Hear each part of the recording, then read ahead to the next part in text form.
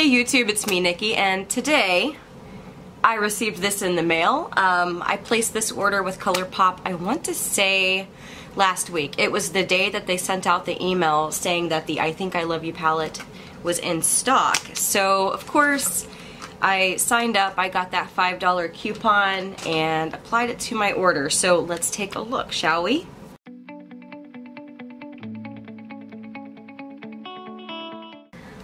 Okay guys, so it is time to swatch and this is going to be really really fun.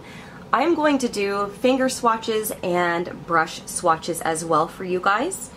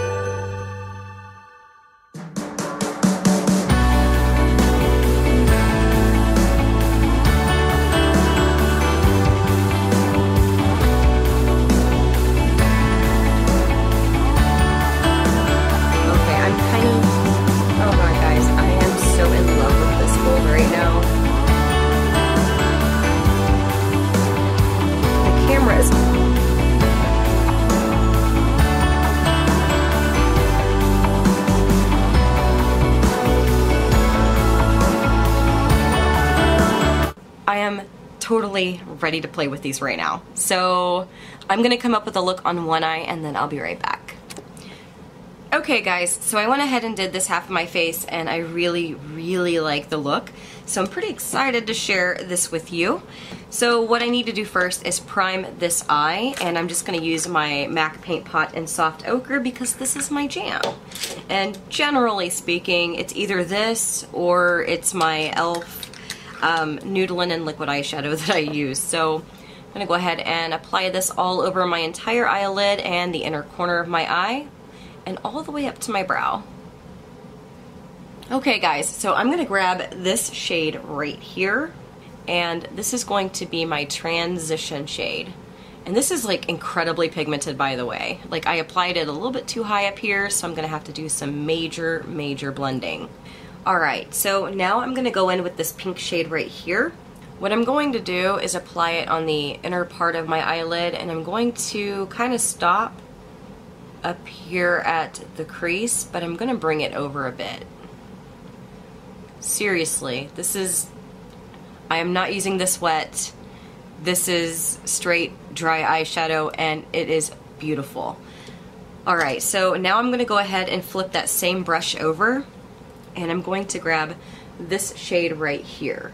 Now, what I'm gonna do is start on the outer edge and I'm going to bring it in and connect where this light pink shade, this like frosty pink shade meets with this shade right here. And just kind of go back and forth to blend them a bit. That way it has a really, really nice smooth transition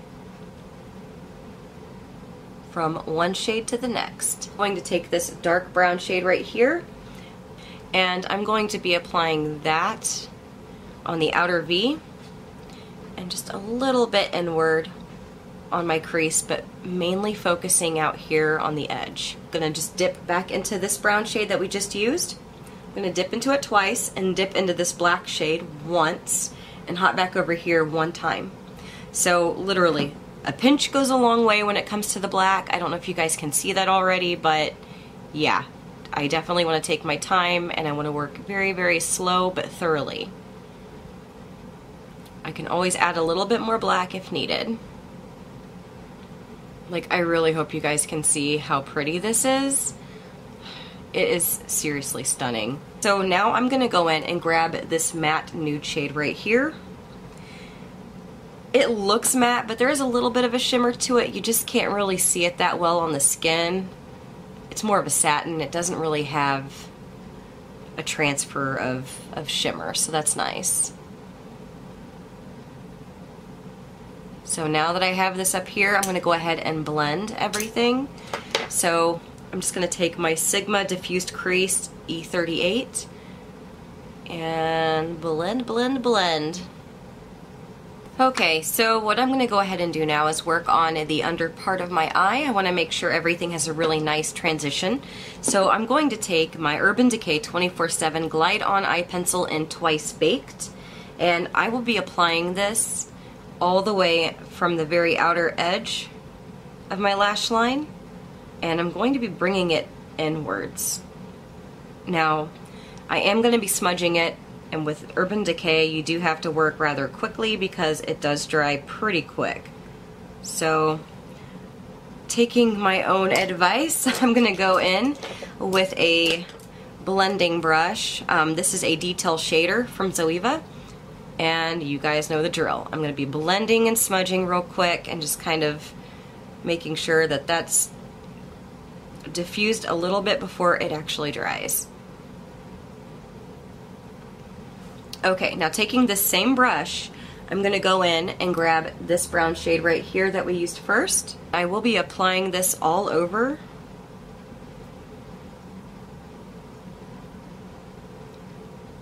I'm also focusing underneath where I smudged it as well because I really want it to have kind of like a soft, smooth change from the lighter brown to the darker browns. So now I'm going to go in and grab this dark brown shade right here and I'm going to start on the outer edge and bring it two-thirds of the way over. I'm going to barely, barely tap this black shade right here and I'm going to actually tap it on my arm and get the excess off this is going on the very outer edge. That way we have a little bit more dimension and it's actually going to help connect that upper liner. So there we have that. So let's go ahead and do the upper liner. Um, I'm basically going to use the AMC eyeliner gel from Inglot. This is in the shade 77 or 77 and it's just a nice black shade. So I will have to do this off of camera just because the only place to balance my elbow is a drawer that's open and it's really, really wobbly and I don't want my camera to fall, so not gonna risk it, but I'll be right back. I'm gonna go ahead and do my mascara. So I'm gonna be using the Wet n Wild Lash-O-Matic mascara and I'm just using this. I'm not using the fibers that come with it, so just the mascara by itself.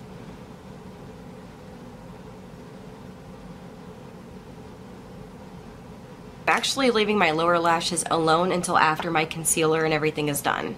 Um, I find that with my lower lashes, they're pretty long, and if I apply the concealer, it generally gets on my lashes and it makes a mess. So no need to go over them again. We'll just call it good and leave it for a moment. Okay guys, so what I'm gonna go ahead and do now is my concealer. So I'm taking the Tarte Shape Tape and Light Sand, and you have to be incredibly fast about this. So I am winging it out very quickly, I'm going to hop in with the e.l.f. Prime and Stay Finishing Powder, and this is the translucent shade. Next, I'm going to take a sample of Warmth from Bare Minerals just to kind of give my face a little bit of depth here. And I'm holding my brush kind of like this, so that way it is kind of contouring in a sense. And then I'm going to diffuse it.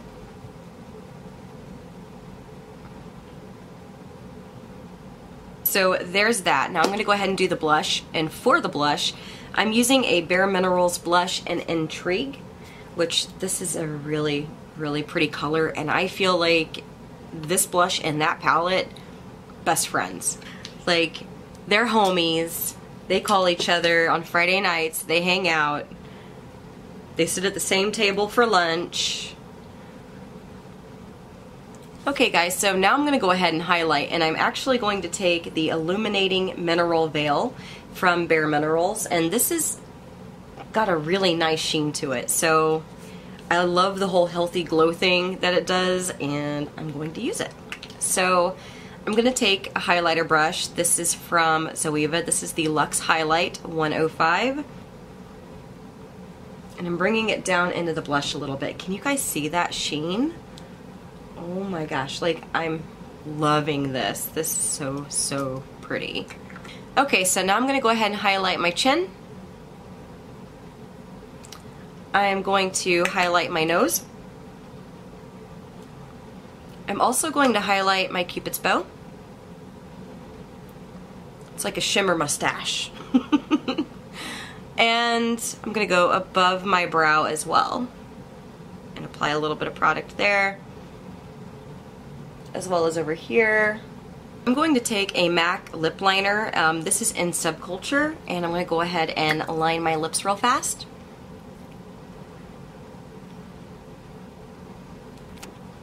Okay, so I want to try a lipstick. I don't think I've used this before. I think I've swatched it. This is from ColourPop, and it is in the shade Platform.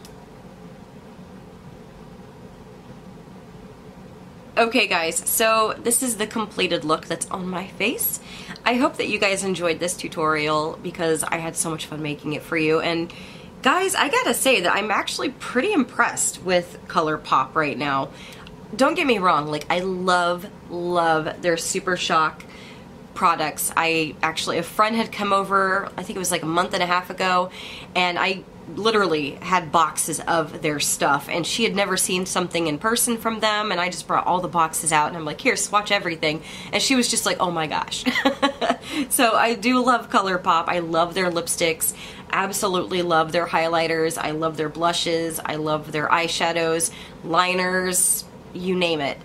This though is a whole new ball game for me because I've never tried anything that was a pressed powder from them. So this is kind of know, it's refreshing. It's nice to see something different. Um, there's other products that they've come out with that I haven't tried yet either, but I can tell you from my experience with this guy, I'm buying every single palette like this that they come out with. Like that's just it. From now on, I'm going to do it. I'd like to purchase um, She, and then there's another one. I can't remember the name of it, but it's got like yellows and oranges in it, and I, I'd like to have all three and I'll keep purchasing these as soon as they come out with more. So very impressed. This is very, very travel friendly, by the way. It's incredibly thin, very sleek. Love the packaging. It's like mirror rose gold and it's got magnets. So it actually stays closed. And yeah, you know, this was an awesome, awesome product. So good job, ColourPop. Glad to see anything else that you guys come out with and definitely will be a consumer of it. So thank you guys so much for watching. I do hope that you guys have an awesome day. If you guys like the video, please give me a thumbs up, you know, leave a comment, subscribe. It really does help me out and I will see you guys in the next video. Bye.